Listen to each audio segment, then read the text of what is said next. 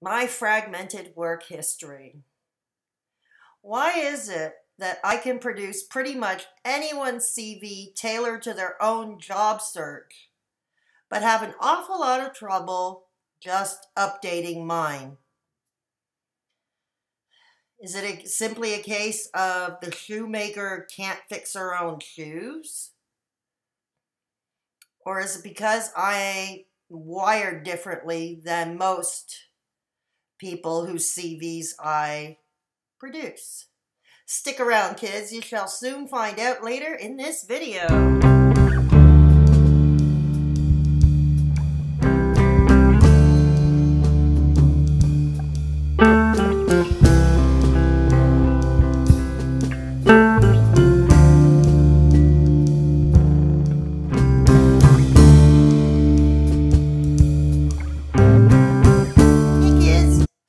Talking Fedora Chic coming at you, and welcome to the channel. I want to take this opportunity to thank all my new subscribers. I got five new subs the past week. So thank you for joining this bumpy ride. If you're new here, we discuss social issues of the day with an emphasis, but not exclusively to mental health, issues with addiction, learning disabilities, etc. It's basically my little rant corner of the intertubes. If you are into this kind of thing, please consider subscribing and hit that little ringy dingy icon below so you can be notified every time I upload.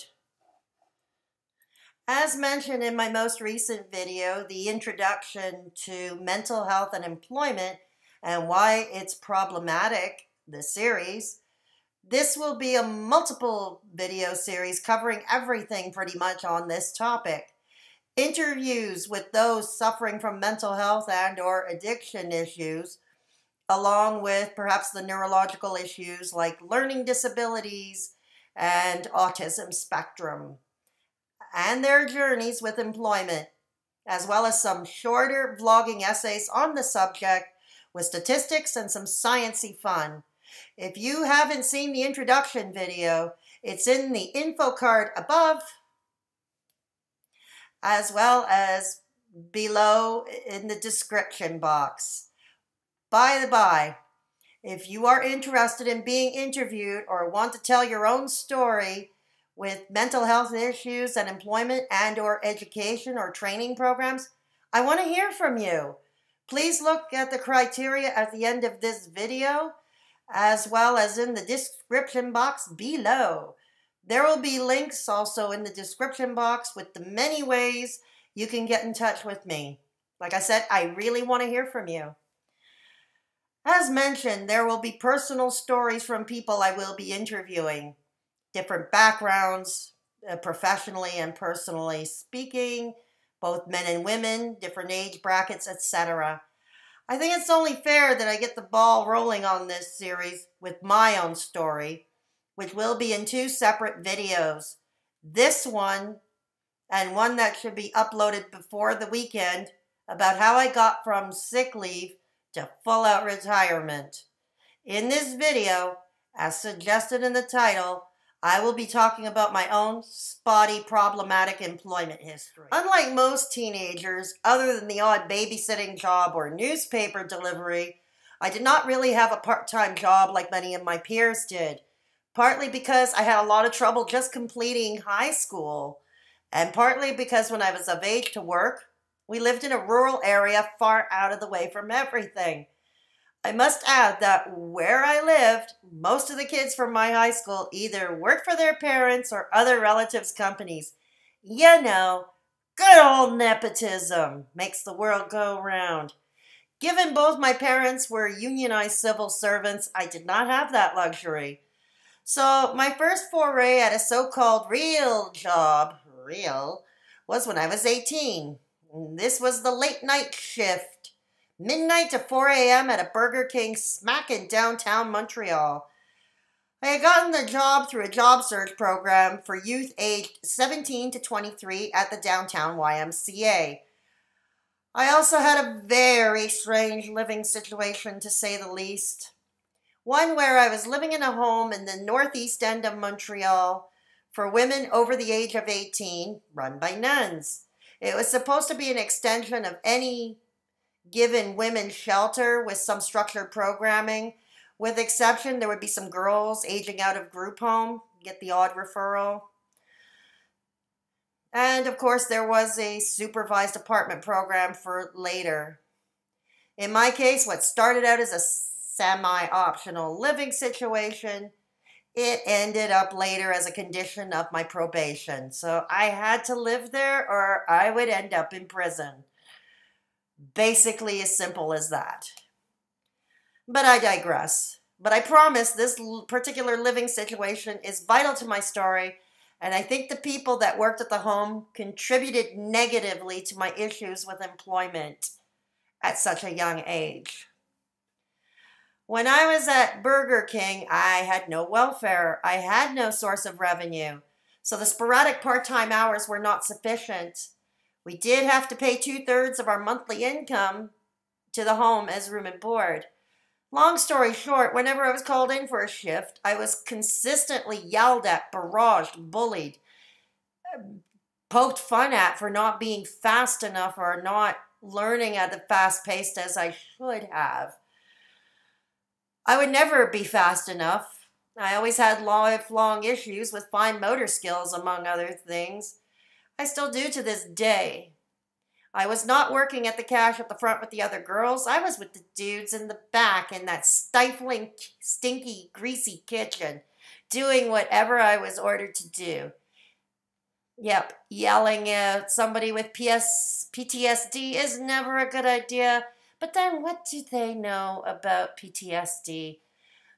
But that mental talking about mental health was still considered quite taboo back in the decade of excess.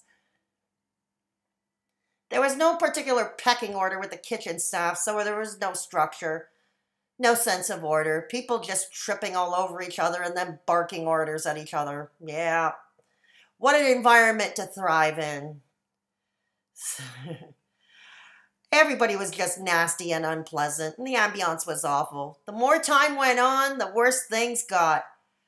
I found myself more often than not cowering in corners, either having a panic attack or crying for lack of knowledge of an appropriate response. I would continuously fall apart emotionally. This, my friends, is pretty much the story of my life. Not just my working life, but also my personal life. I ended up having to quit the job anyway. Honestly, I think the management at that Burger King were about to can me anyway. The night before I quit, night manager caught me during a panic attack, once again cowering in my favorite corner. She ordered me to move, but I simply couldn't. This, my friends, is a lesson to you. Somebody having a panic attack, somebody dealing with an anxiety attack, or they are stuck in a crisis of depression. You can tell them to move all they want. When we say this is crippling, Please take our word for it because what I just described was that a crippling panic attack. Didn't matter what threats were issued at me. I couldn't move, couldn't answer. You know, kids, it's funny I mentioned Burger King in the first part of my spotty resume. As I did a video on Burger King and Bell's corporate hypocrisy and exploitation regarding mental illness not that long ago. Link to that video is in the info card above. My work history with them is a prime example of that. When I did quit, the counselors at the home were chastising me for not wanting to start at the bottom of the ladder of employment. I look back now and thought, these were frickin' counselors with backgrounds in special education. social work, criminology, and psychology, yet they couldn't or refused to recognize panic attacks. I was not the only resident at the home to be chastised for this sort of thing, neither. They told me I either had to find a job PDQ, and they were referring me to a yet another youth job search program, one that would last about 16 weeks with a minimum wage salary paid. I guess at the time I was open to that. Not like I had anything else going on at the time. Thought maybe I could learn what to do with the panic attacks, pick up some life skills, because this program did offer life skills uh, workshops. You know, not run into the same pitfalls I did at Burger King. There were women at the home back at school, either for completing their high school, leaving in adult ed, or they were in literacy classes. Because I was the most educated gal in the home, meaning I was the only resident who completed high school, they didn't want to prioritize education with me. Yes, heaven forbid I should go above high school, right? I did want to go to CEGEP, sort of. I would have preferred CEGEP over working in fast food, that's for sure. But again, they said no. Now, I know you asked boys and girls, what would have happened if I defied them and did just that? Go to CEGEP. Well, I felt trapped in this home, and they likely would have given me the boot with nowhere to go. So, as bad as the living situation was, it was all I had at the moment. Also, as a reminder, my probation conditions required me to live there. If I were booted out, particularly with no place to go, I would surely have been obligated to finish out my sentence in prison. An afternoon in a cop shop lockup was scary enough for me at the time of my arrest less than a year prior. They also had an issue with me going to CEGEP because I was going to major in social science you know, that babysitter for directionless high school grads. Not that I would have remained in that major. I would have just gotten my feet in the door so I could actually be a fine arts major. Time to get a portfolio together and such. What few interests I did have back then, that is, besides rock and roll, was art. I'm still not sure why to this day the folks were at the home were so insistent that I looked for another crappy job I was sure to fail at rather than attend school. It was like I was being penalized for actually having a high school diploma. But the job search program at the home was offering me appeared to be my best option at the moment. At least there would be other misfits like yours truly, some even with a criminal record like I did, some who had the anxieties and the sensitivities I did, those who were bullied or came from abusive households, kindred spirits, in other words. I would have had steady income at the moment. Program went fine. I learned the basics of how to use a computer. There were many life skills workshops in addition to how to fill out job applications or write out a resume or CV curriculum vitae, depending where you come from, for the life of me, I can't remember the name of the program. Oh boy. The program ended up sending me to some job on the job training at Coho's, which now long since defunct was a discount clothing store. Call it a sort of prelude to Winners. The program continued to pay my salary through that five week period. They were nice enough at Coho's, but I was stuck doing grunt work no one wanted to do, like taking inventory off the racks, sweeping the floors, basically cleaning up and checking an eye out for shoplifters in the change rooms. In other words, no real marketable skills, but at least no bouts of panic attacks or crying or cowering in a corner. No emotional breakdowns to report there. But when the program ended, and once again back to the pressures of finding work from the home and not knowing when I would get income, it was causing no shortage of anger and grief and anxiety for me, which no one was hearing me when except, of course, for my psychiatrist at the time, who in turn decided it would be a good idea to fill out disability forms for me to receive welfare with a disability supplement. He felt that as long as I couldn't control my emotions, it was not a good idea to spring me at employers at large. I did what I was supposed to do, but the nuns who ran the home did all to overrule my medical papers by finding their own doctors, social workers, stuff like that.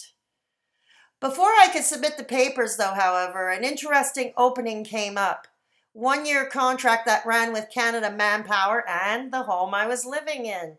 That's right, the job's employer was also the nuns that were running the home I was staying in. It was a little company called Essar, and it was a silk painting, printing, painting scarves, producing greeting cards, some jewelry, postcards.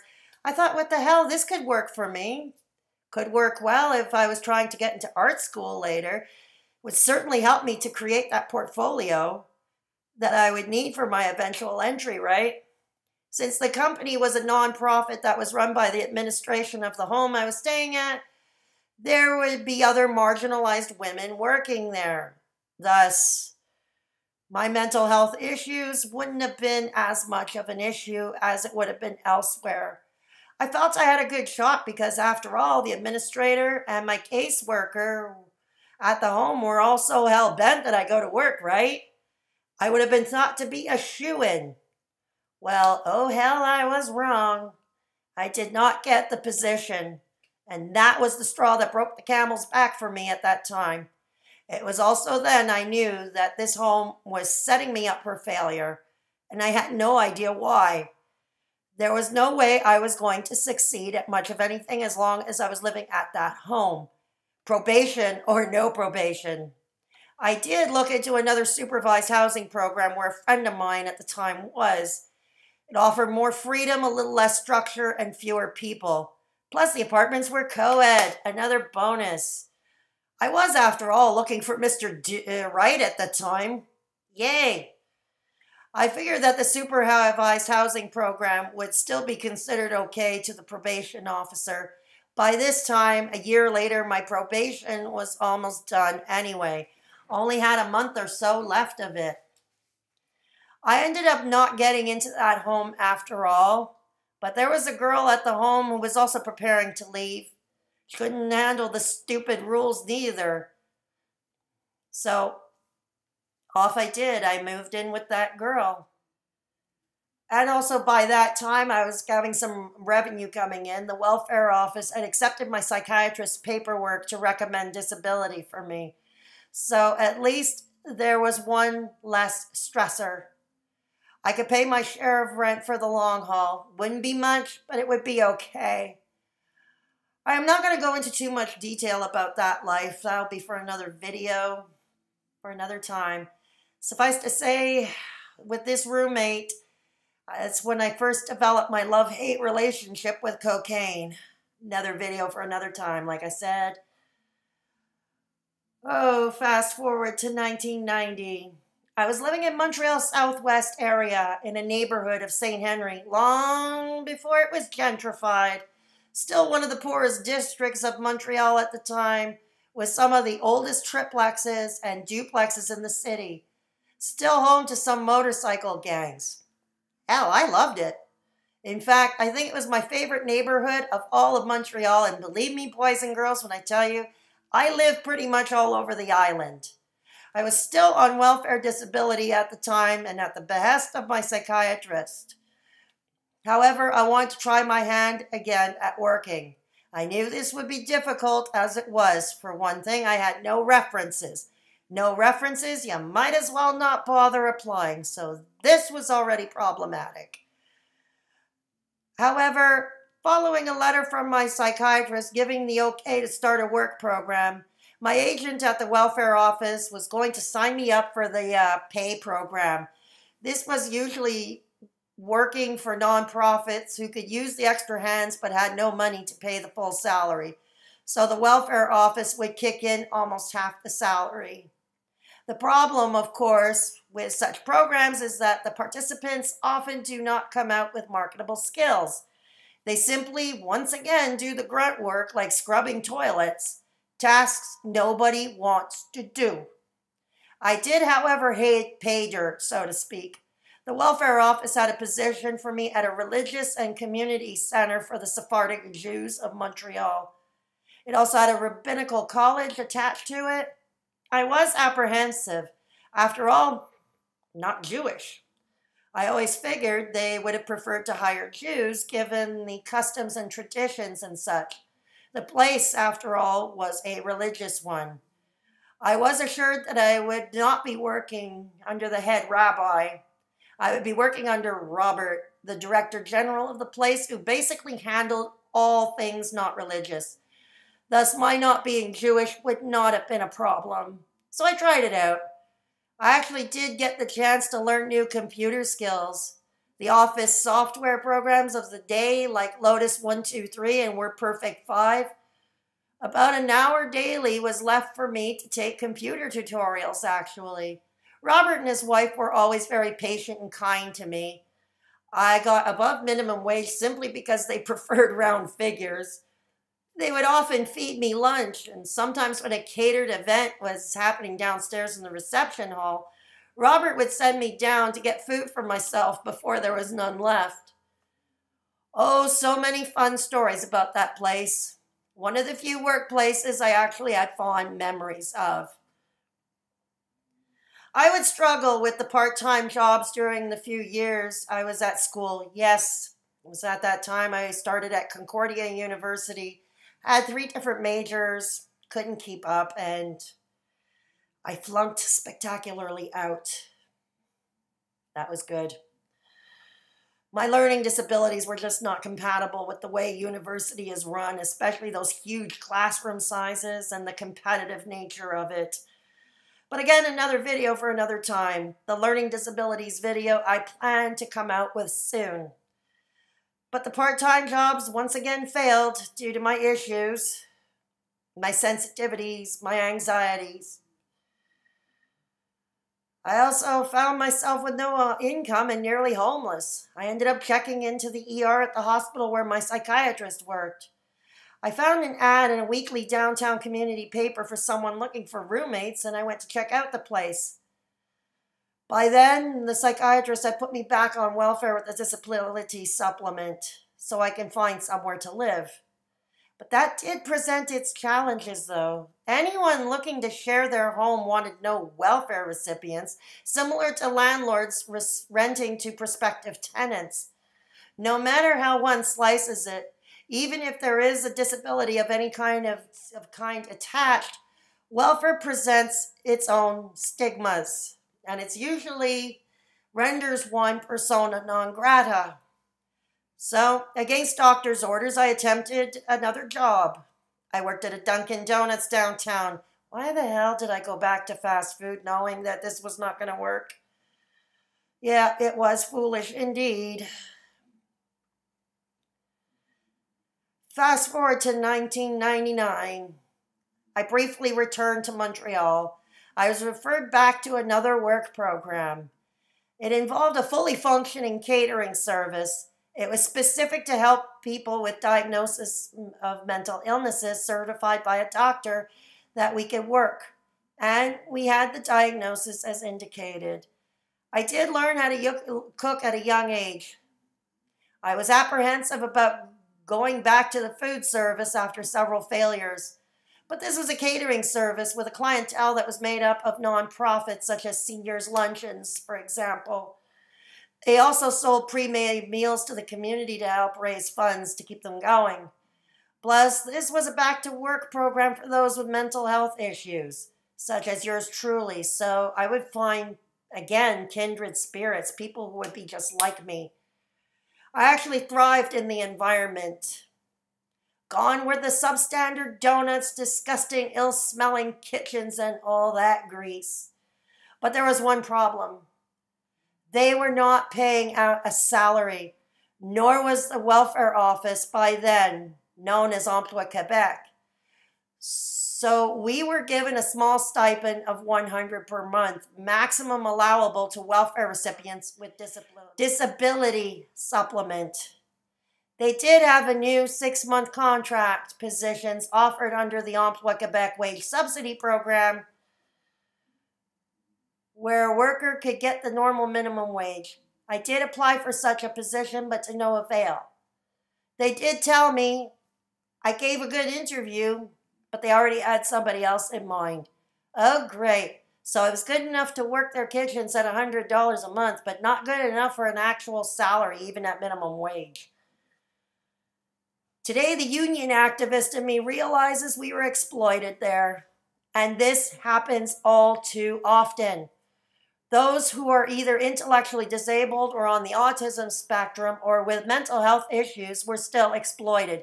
It's hard to get hired at normal salary, let alone benefits, with same employment standards and laws as everyone else. There are organizations in Montreal who do cater to helping those with disabilities, mental health, or the DI network who are exploited. I turned out to be one of their best cooks nonetheless. I ended up leaving the program after a year.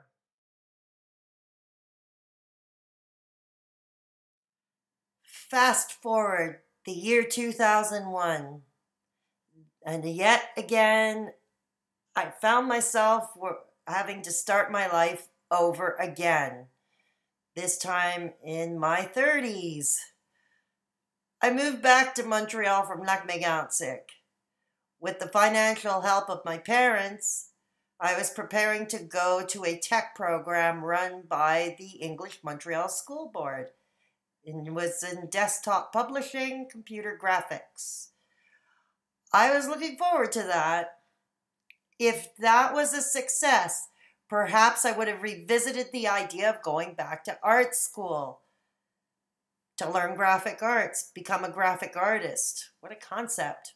Earning a living doing something you might like all that time, I had always tried to take any measures job training, learning new trades and skills, etc., etc. I think I was doing much of it for the wrong reasons looking back. I just wanted to be normal, conform to the norm I was always preached at. I was tired of being stigmatized for both my mental health conditions and my other deficits, like with my fine motor skills. Tired of being kept out of society because of my failures with employment or school. By this time, as it is today, we are largely defined by society by how we earn a buck. Also, I was fresh off coke and speed. Yet again, this time I was going at cold turkey. By then, I was fed up with therapists and doctors. Sure, there were some withdrawal symptoms, but they were manageable. One thing, boys and girls, if you're new to sobriety or thinking of getting off drugs, please, please check with a healthcare professional. And no, not the rewired soul for the love of God. I don't really recommend going cold turkey. I was moving into another shared housing situation Man, that home was weird. I always had weird living situations. No wonder why I moved around a lot. Okay, here we go. Again in Montreal Southwest, in the district of Côte Saint Paul. The other side of the Lachine ca- Canal from my old hood of St. Henry.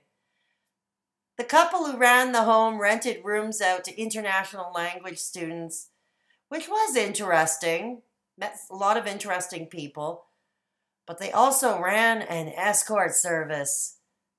That, my friends, was even more weird. It was the worst kept secret from those international students living at the home. I may well write a short story about that one. Again, I digress.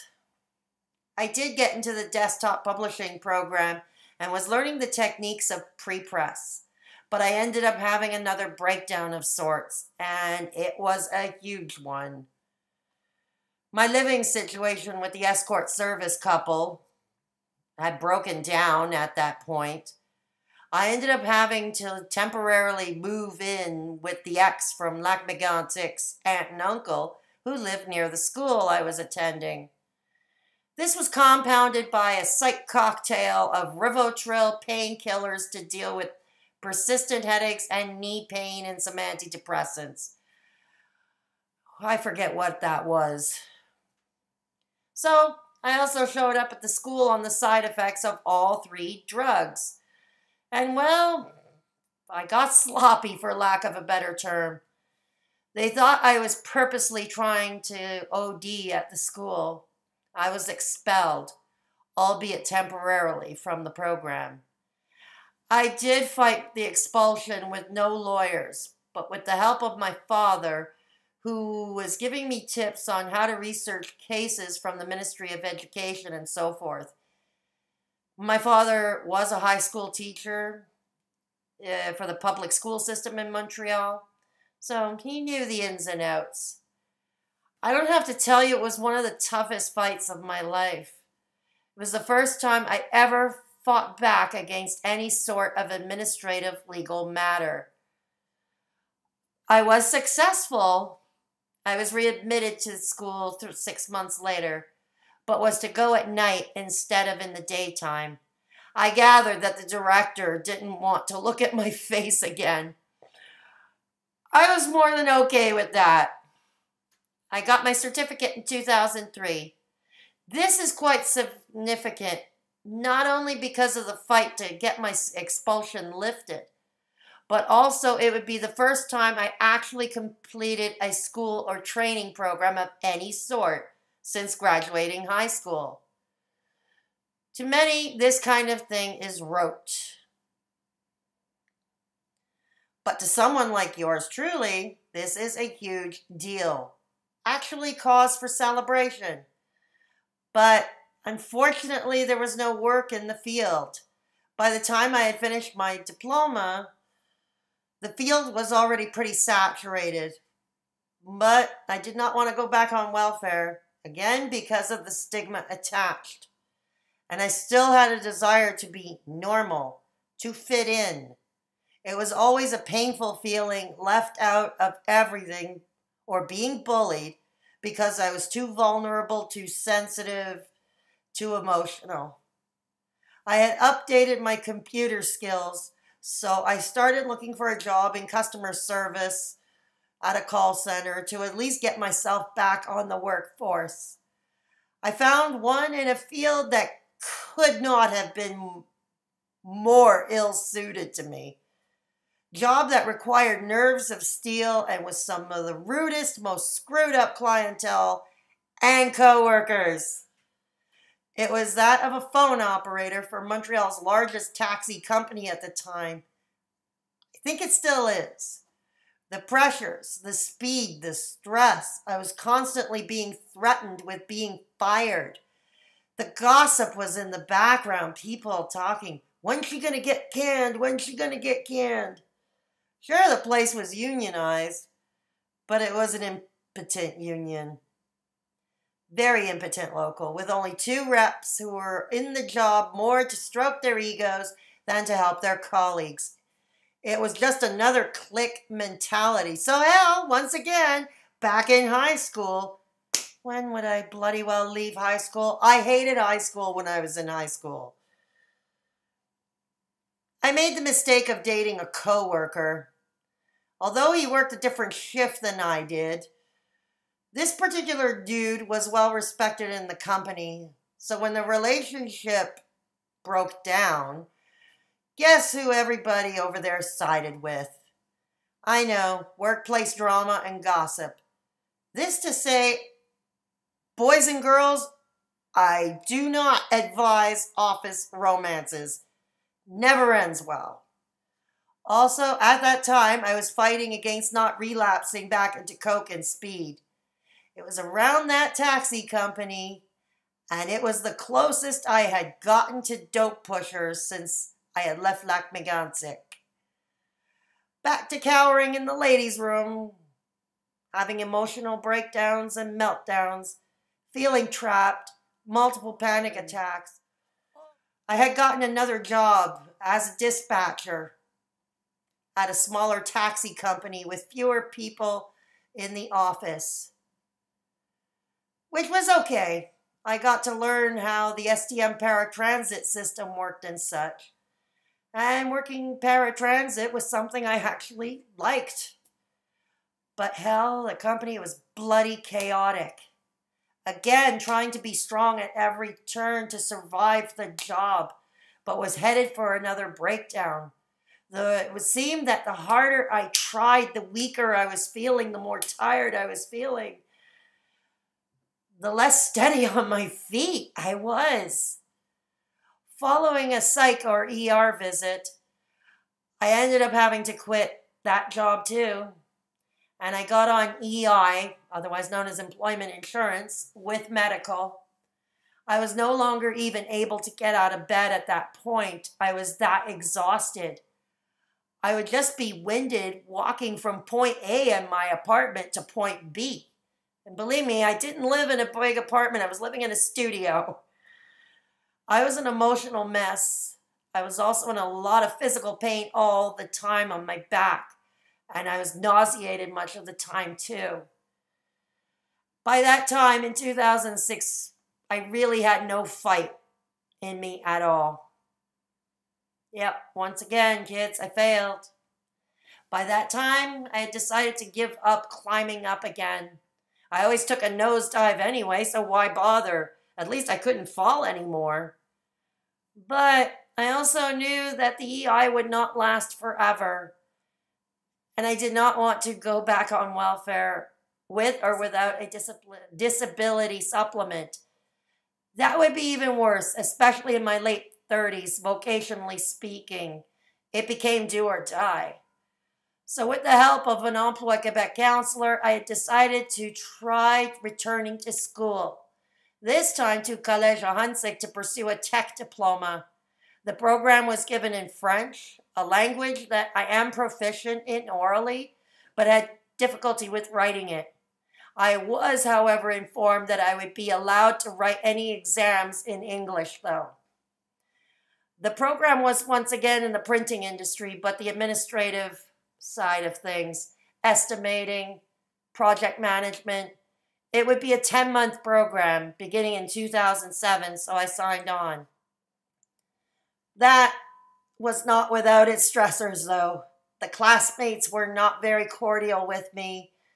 I did not fit in. I was the youngest in the class, but heck, who'd have thunk a group of middle aged people could behave just like a high school clique yet again? The instructor who taught the bulk of the classes was an, was an ass, a right wing ass who believed even an employee who took a few minutes to go to the washroom was a waste of time and money and resources on any company. Yeah, not for nothing I referred to him as the Prince of Darkness. I somehow passed all my courses, completed the diploma. So, two diplomas post high school under my belt. No university degree, but still quite an accomplishment nonetheless, for yours truly, that is. Spring 2008. I had a job in my latest field as an estimator for a large format printing company. I liked the work but hated the way the place was run. Once again, run by a mean girl clique. I saw 18 people in a three month period either leave voluntarily or get fired. It was frankly a miracle that the company owners managed to remain in business as long as they had because they let their personal feelings get involved when hiring people instead of looking at qualifications. In other words, they were not hiring the best people, they were hiring people they liked. My last supervisor was over there was a 23 year old Barbie doll. When I say Barbie doll, kids, I mean Barbie doll. Fresh out of university with no work or life experience. Oh, that ought to end well, right? It was easy to see why she was hired by the president. She ran the office like her power clique in high school. In no time, it got to a point where I was feeling trapped yet again. I started throwing up almost every morning. And kids, no, I was not pregnant. Dreading the day. I was hoping to remain there for a year to get my chops in the industry and then find another job at a print shop. I had to train Barbie Boss to learn how to be, well, my boss. I mean, how effed up is that?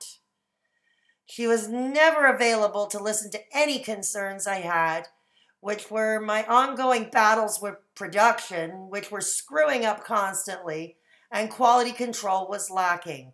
For example, covering up a printing error on a vinyl banner for a high end shoe store by scribbling with magic marker. Kids, I wish I was kidding. I'm not. Or sales reps so hungry for a commission that they were slashing prices to the point where the prices were lower than the cost of production. Who would know the cost of production of everything better than I did? I was the estimator, after all. I provided the estimations for the president.